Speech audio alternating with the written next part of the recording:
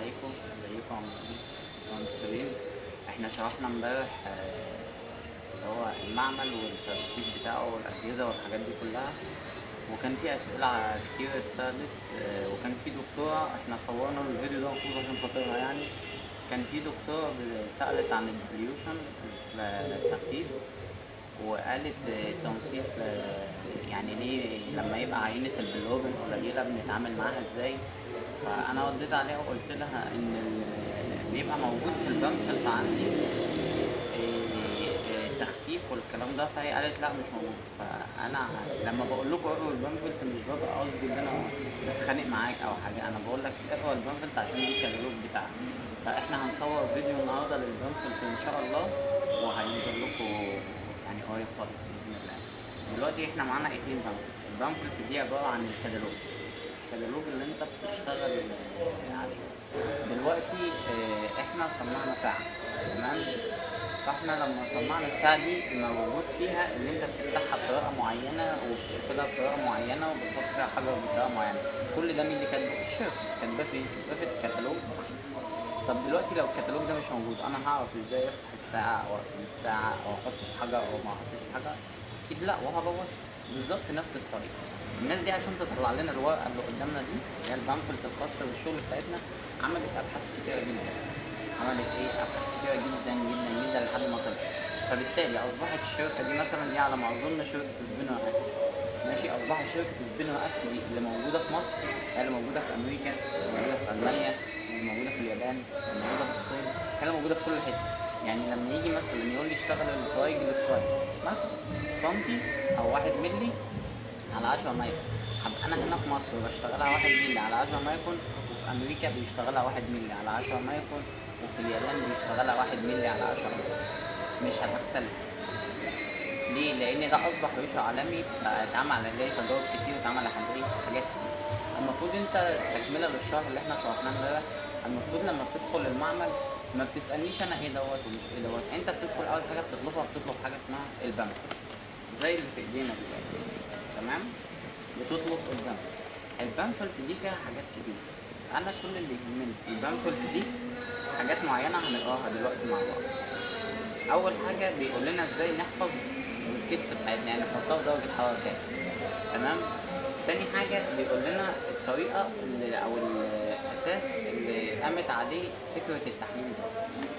تالت حاجة بيحدد لنا نوع العينة إذا كانت سيروم ولا بلازما وإذا كان على. على العينة دي آه، ال anticoagulant بتاعها EDTA heparin sodium citrate potassium citrate أي حاجة أي حاجة anticoagulant بعد كده بيبدأ يحدد لي حاجات معينة زي عندنا ال wavelength وعندنا ال cuvette بتاعنا القطر بتاعها كام؟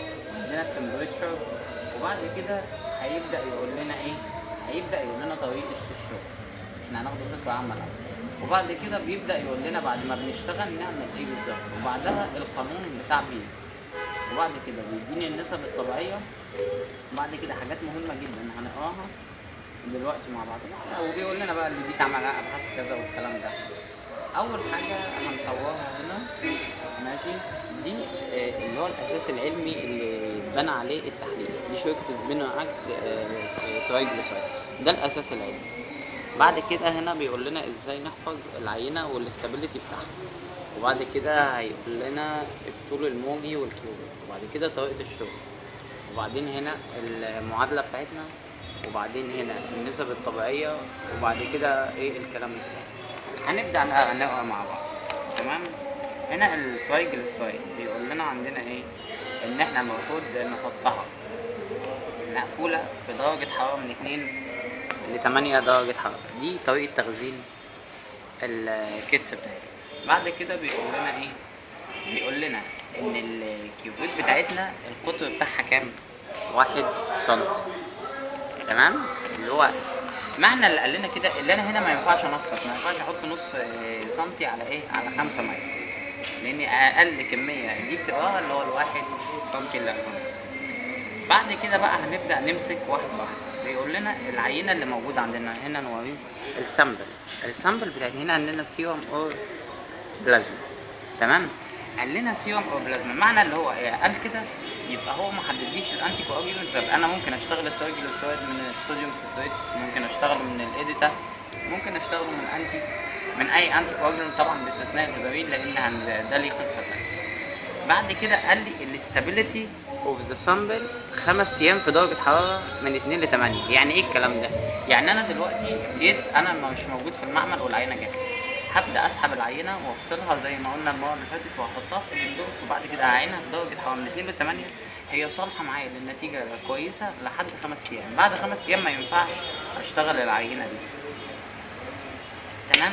بعد كده لما هيجي هيقول لنا ال wavelength بتاعنا هيقول لنا اللي هو 505 بس ممكن أشتغله في 490 وممكن أشتغله في 550 طب وما بينهم؟ ممكن أشتغله برضه. يعني ممكن 500 و 490 و 191 92 وهكذا. يبقى هو اداني range بشتغل عليه. درجة الحرارة لما باجي أظبط درجة الحرارة بتاعتي 37 أو من 15 ل 25 اللي هي درجة حرارة الغرفة. هنعرف دي لازمتها إيه دلوقتي؟ بعد كده بيقول لنا الطريقة بتاعتنا اللي إحنا بناخده blank و standard و sample بناخد إيه؟ blank standard sample قال لنا ال blank ال R دي معناها reagent اللي هو المحلول بتاعي. وبعدين ال standard وبعدين ال sample هو قال لنا ال blank هنا منين؟ من الايه من ال reagent معنى اللي هو قال لنا ال blank من ال reagent اللي أنا ما ينفعش أستخدم مية مقطره ليه ما ينفعش أستخدم مية مقطره لأن المحلول عندي ملون. بالتالي الماء المقطره شفافة فهيبوظ لي آه، الفكرة بتاعت التحليل ذات نفسه وده هنشرحها بعد كده بالتفصيل. بعد ما عملنا ثلاث أنابيب وكل انبوبه حطينا فيها واحد ملي من المحلول وبعدين حطينا في انبوبه ال standard 10 مايكرون وبعدين حطينا في انبوبه ال standard 10 مايكرون. جه قال لنا هنا إيه بقى؟ قال لنا mix and incubate for خمس دقايق 37 درجة. أو 10 دقايق من 15 ل 25 اللي هي درجة حرارة إيه؟ الغرفة اللي هي ال room temperature وبعدين بيقول لنا read absorbance والكلام ده كله. فدي مش قصه بعد كده هيقول لنا نحسب. إحنا عندنا نوعين من الأجهزة. نوع من الأجهزة بيحسب جواه وده اللي موجود عند كل الناس. وفي نوع قديم شوية بنبدأ نعمل الحسابات. القانون بتاعنا بيقول لنا absorbance sample على absorbance standard في في إيه؟ ال concentration بتاع ال standard هيدينا النتيجة.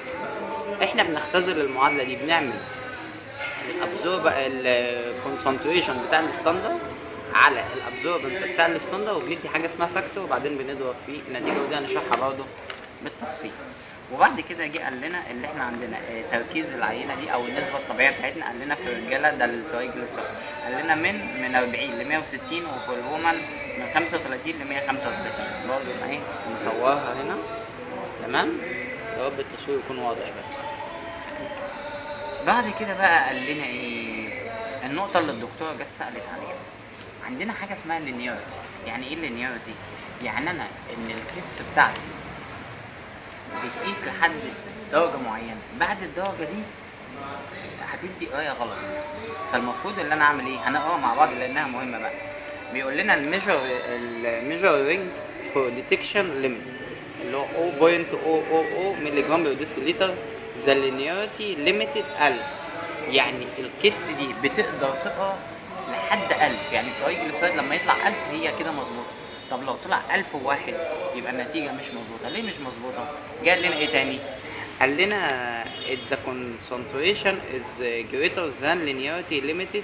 يعني لو ال- العينة بتاعتي عدت عن الألف هن- هتبقى النتيجة مش مظبوطة لأن المحلول كده مش هيقدر يقيسها. فبالتالي هنعمل إيه؟ اللي الدكتور قالت هنا قالت اللي إحنا ما يعني البامفلت مش ذاكرة إزاي أخفف لا هي موجود قال لك هنا إيه؟ داليوت يعني خفف واحد لاتنين سمي. يعني هنخفف. قال لنا نستخدم إيه؟ distilled water ولا بتاع ده ملح. قال لنا هنا تستخدم Cl Na؟ اللي هو ملح الطعام. تسعة في المية. ماشي؟ وبعدين النتيجة اللي تطلع نضربها في إيه؟ في اتنين.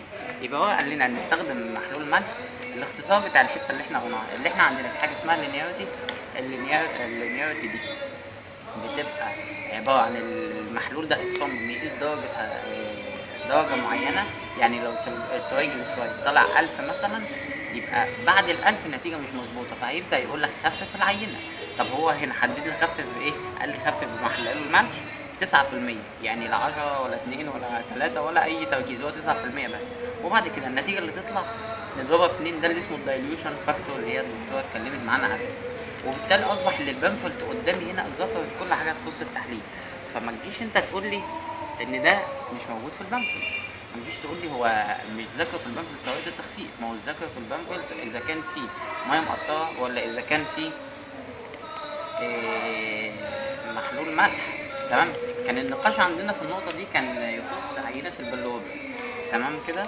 فأنا برضه هنقرأ ال pamphlet بتاعت البلوبن مع بعض ونشوف هو ذاكر فيها ده ولا لأ. جه هنا قال لنا في طريقة شغل البلوبن حاجات كتير بقى. ماشي؟ نصور ال pamphlet معانا. إحنا هناخد طريقة الشغل بس. جه قال لنا ال wavelength بتاعتنا في ال total bilirubin إحنا عندنا معلش قبل ما نصور دي إحنا عندنا البلوبن حاجة اسمها total اللي هو الكل. وحاجه اسمها direct اللي هو المباشر. آه، بتطرح ال direct من ال total يدينا ال indirect ده الغير مباشر. يعني الغير مباشر ملوش شغل. ده معادله بنطرحها من بعض. فقال لي لما تيجي تشتغل ال total بتقيس على طول الموجي كام؟ 578 طب وال direct على 546 ال cuvette هتلاقوها معانا دايما 1 سنتي 1 سنتيمتر. بعد كده درجة الحرارة بتاعتنا من 20 ل 25 تمام كده؟ جه هنا حدد لنا أيوه حدد لنا قال لنا إيه؟ كتب لنا هنا في ال samples قال لنا serum or plasma free hemolysis يعني ما يجيش بقى حد يجي يقول لي لا ممكن نشتغل hemolysis هو ال kits قال free hemolysis يعني معنى كده إيه؟ ان ال hemolysis ده forbidden ممنوع. ماشي؟ وبعدين قال لنا بقى نقطة مهمة. قال لنا ال stability لل bilirubin من في درجة حرارة من 2 ل 8 ثابتة أربع أيام أو شهرين في درجة حرارة تحت العشرين يعني متجمدة. تمام كده؟ يبقى هو حدد لنا طريقة الحفظ. وطريقة الشغل زي ما هنعرضها قدامكم هنا تمام؟ وبعدين ادانا factor بنضرب فيه النتيجة بتاعت البلوبين ده لو مش متبرمج على الجهاز. بس النقطة اللي إحنا برضه مصورين عشانها الفيديو عشان خاطر التخفيف جه قال لنا إيه بقى؟ نقرأ مع بعض هنا. قال لنا ال measure range from detection limit يعني البلوبن معانا من أول 0.1 يعني من واحد من عشرة لحد 20 طب بعد ال 20 هيقول لي إيه؟ هيبدأ يقول لي اللي هو عدى ال linearity فهنبدأ هنا. جه قال لنا إيه؟ خفف العينة واحد لاتنين بمحلول ملح يبقى هو ذكر لي نسبة التخفيف والمادة اللي أنا بستخدمها أخفف منها. فمعنى كده إحنا كده خلاص قرينا ال pamphlet المفروض بنقراها بقى إيه؟ أول ما ندخل المعمل ما تسألنيش بشتغل إزاي. أنت المفروض تطلع ال pamphlet وتقرا ده. فأصبحت ال pamphlet دي هي المراجع الأساسي لأي حد. ذكرت كل شيء من الألف للياء. يبقى لما أنا أجي أقول لك اقرأ البامفلت معناها اللي أنا مش مش عارف لا معناها اللي أنا عاوزك أنت تدور وعاوزك اللي أنت تبص والكلام ده كله. في نقطة كمان إحنا عشان نبدأ نشرح بدأنا نحضر من أماكن كتير. وبقالنا يعني إحنا مصورين حوالي 89 أو 90 فيديو ومصورين حاجات كتير ومعانا جايبين كتب كتير ومعلومات. ما تجيش حضرتك تقول لي لو مش عارف قول اللي أنت مش عارف. ما أنا أكيد لو مش عارف مش هذكر النقطة دي. أو على الأقل هقول لك أنا مش عارف مش هتكسف منك فبالتالي ما نشككش في بعض. دي كانت آه، الفيديو بتاع النهارده. اتكلمنا فيه عن ال pamphlet. إن شاء الله هنمسك ال pamphlet بتاع اللاتكس برضه هنقراه مع بعض ونوضح فيه نقط مهمة. آه، وهنصور لكم فيديو مهم آه، بإذن الله تاني هينزل قريب يعني. آه، أتمنى الفيديو يكون عجبكم وأشوفكم في حلقة جديدة. لو عجبكم الفيديو اعملوا سبسكرايب